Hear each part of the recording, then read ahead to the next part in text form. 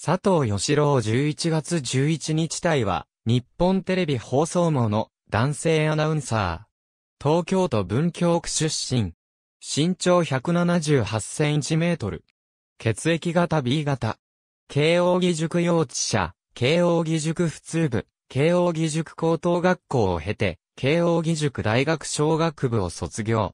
趣味は、スキー、スポーツ全般、休日の買い物、2年に一度神田祭でみこしを担ぐ、こと。実家は、アウトドア用品店の老舗、日品を経営している。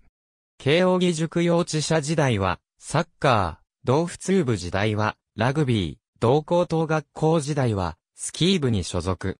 アルペンスキーは、インターハイ、インカレ、チャレカツ、スプリング、岩手高原、国民体育大会に出場したほどの腕前。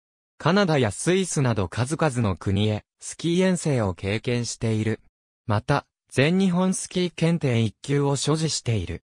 高校3年時、大学4年時には、首相としてチームを率い、言葉でチームを鼓舞するそのスタイルから、入局前から、ポエマーの片鱗をそこに覗かせていた。しかしながら2019年3月の一郎の引退試合では、セレモニーにおいて、あえてナレーションを避け、球場の雰囲気をダイレクトに伝えるという形をとった。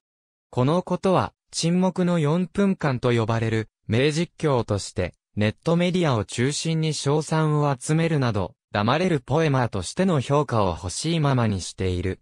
2020年の日本シリーズ、巨人対ソフトバンク第2戦で自身初となる、日本シリーズ実況を担当している。2020年東京オリンピックではレスリングで女子フリースタイル 58kg 級の河合梨紗子の金メダル獲得の瞬間を伝えた。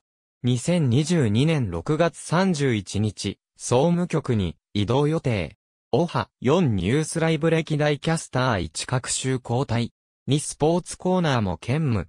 1角曜日の男性アナウンサーがスポーツコーナーを兼務。ありがとうございます。